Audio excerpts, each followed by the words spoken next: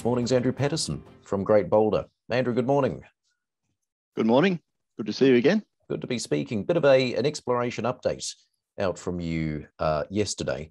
Firstly, Mulga Bill, you've had some initial results in, Andrew. Yeah, yeah. Yeah, we've had a good week, good results coming through, and, and I haven't upset any of the regulatory authorities in the last two weeks, so I'm doing pretty well.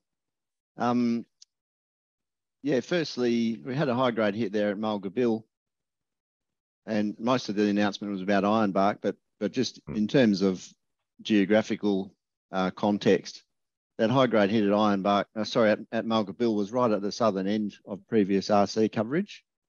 So that's that. If you look at the long section on previous announcements, that's right over on the left hand side. Um, yeah, so we've done, we've already done more drilling around there, a lot more results to come. So we're looking to extend that um, flat high grade vein and obviously look for more of them. So as you say, RC drilling, that's ongoing at Mulga Bill here.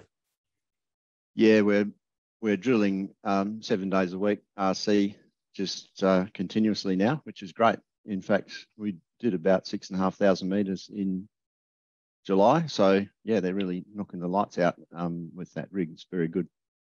Tell me more about some of these high grades here at Ironbark, Andrew. Yeah, so that's the last result from the second of RC drilling. So it's reasonably well defined now um, from down to about 50 metre drill spacing and in some instances still 100 metres. Uh, the important thing is firstly that we think there's two, maybe three lenses of high grade material there. And, and as you've seen with some of the previous results, gets really high, high grades there at depth um, still relatively shallow when I say at depth, we're only talking kind of 100, 150 metres.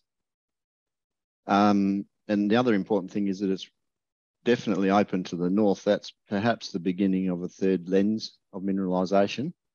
There may be a plunge to those lenses. We don't know yet. We just don't have enough drilling.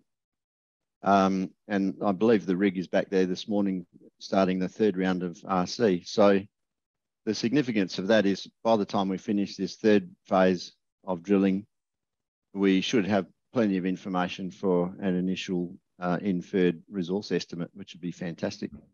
You're also doing some auger drilling here.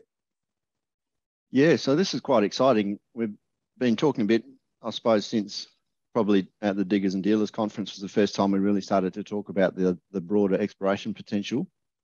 Uh, we already have some geochemical anomalies north of Ironbark, which look quite similar to the original um, Ironbark geochem uh, anomaly. And then there's another seven kilometres south of Ironbark on the same stratigraphy. Uh, we've had contemporary reports of things, you know, prospectors working down there, which um, lead us to believe that it's a very similar geological setting to Ironbark itself. And so we're starting to infill all of that area with um, auger sampling for, for geochem and um, and look for more of them. So you know, I'd, love to be talking to you in six months' time and have three or four more ironbark style discoveries on our plate would be a fantastic result. So um, the rig's just rotating now between those three main prospects being Mulga Bill, Loaded Dog, Flagpole, and Ironbark.